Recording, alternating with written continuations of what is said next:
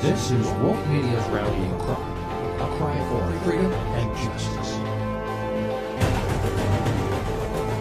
You're watching Wolf Media, calling the world.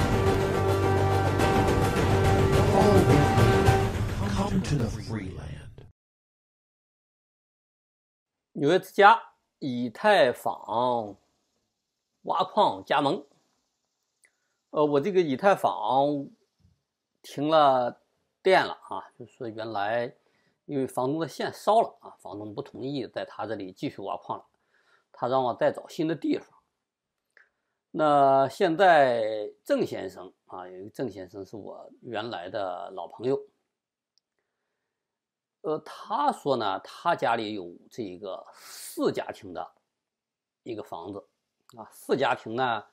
那就是说呢，可以每个月有四十，啊不，有四万啊，不是四十万啊，四万度电啊，美国有四万度电，可以呢这个用来挖矿，他可以把所有的线都拉到一个房间去，但这个是不是合法，现在还不知道，还没有问电工。当然，在他自己家里呢，可能呢没人举报，也不会有人查。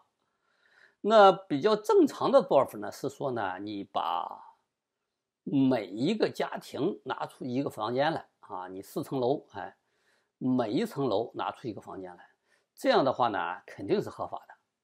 但是把四层楼的都接到一个房间里去，是不是合法？这个就不太清楚。呃，起码来说呢，这个做的话呢，是可以考虑合法化的做。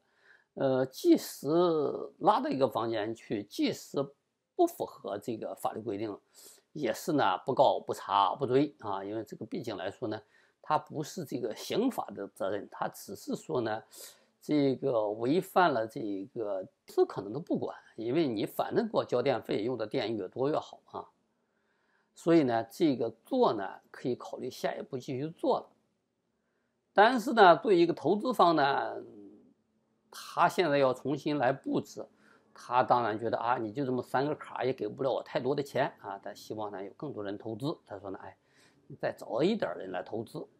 所以我呢，我说朋友呢没有去的啊，人家有，要么呢有的家里有电源，有的家里呢他这个电源不是很充足，但目前的卡也不多，呃，只有三张卡、五张卡在家里够用。那也暂时不考虑去啊，除非说以后我买的卡多了啊，我没地儿去了，那我可以考虑租你的地方啊，到你那个地方去啊，要扩大再经营的时候。所以这种情况下呢，啊，他说啊，那你干脆再找人呢，那可以考虑加盟啊。那我说呢，那行，我就找那个不熟悉的人、陌生人来加盟啊。所以呢，我们就写了一个这个以太坊加盟挖矿啊，写了个广告。也就是说呢，对这些感兴趣的人呢，哎，都可以在纽约的呢，都可以放到他家里挖。当然，也可以呢，在自己家里挖。为什么考虑是在自己家里挖的？我们也帮呢。说你交上一百美金，我们就培训你。因为你在你自己家里挖，如果是像我其他的朋友一样，你这个家里挖的已经比较多了啊，你这个电力呢，也就是供五张卡啊，你买了第六张卡没地儿去了，你呢还想追加投资？那就可以呢，到我们这个地方来，哎，他呢，这个就可以多拉点人来到他那个地方投资，他呢就可以收一点这个提成，收一点房租啊，收一点管理费。按照这个方向呢，那我们去走。但是推出来以后呢，并没有受到这个热烈的追捧，因为我们自己呢都有些圈子，而且呢也登了点广告，但是呢，就是说没有人。来这个问啊，就是去他那个地方挖。当然有的呢，别的问的呢是问，呃，在他们自己家里挖的这个还有啊，呃，这个呢，他的电力啊什么的还没说清楚。这种呢，那只能是说，如果在他家里的电力不足的情况下，才能够搬到这个我跟郑先生合作这个地方去。哎，我说怎么这个不受欢迎呢？应该是有很多人这个积极踊跃的参与挣钱啊啊。呃，我们分析了一下哈，确实美国呢有这么个特点，就是呢没有钱投资，有钱消费啊。他有钱呢，他去消费啊，有钱我买个车吧啊。这个有的现在不是说美国政府发钱吗？是不是？哎，发些钱来，呃，发了这个万把块钱啊，几千块钱啊，一两万块钱，家庭大人多的，哎，我就买个二手车啊，我过去没车啊。确实呢，美国人穷啊，这么说啊也是对的啊，就是美国人家里本来没钱，那这段时间我又不去工作，我又不去消费，我天天待在家里，有疫情，然后政府发了钱，那钱花不完，哎，那好，刚好刚好就可以买个车。那你买车了，你怎么不拿钱去买个显卡，然后挖这个以太坊呢？这个呢，当然就是美国的一个特点了。美国人对挣钱呢不是那么感兴趣，更感兴趣呢是我要买点什么东西啊。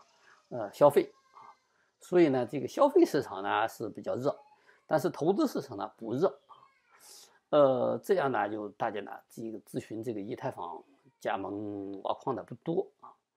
呃，不只是美国啊，现在全球的投资呢，其实呢都是有点冷啊。也就是说呢，到处都是这个钱不多啊，政府发的钱呢不多，然后呢，大家呢还有一些消费的欲望。